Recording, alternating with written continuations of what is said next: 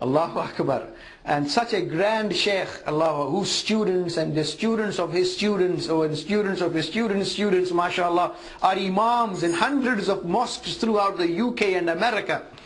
Uh, as the Shaykh al-Hadith rahimahullah has written Fazal Amal and, and uh, it's in two volumes, Fazal Amal and Fazal Sadaqat.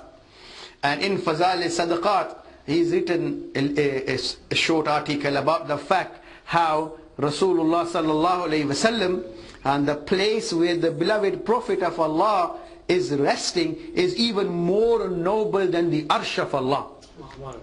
Oh, oh Shaykh Zakaria, how can he say that? The place where the Prophet is resting is more noble than the arsh of Allah. What kufr and shirk?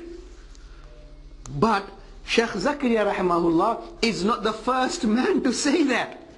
Ibn Qayyim rahimahullah, one of the students of Ibn Taymiyyah, has written that in one of his books.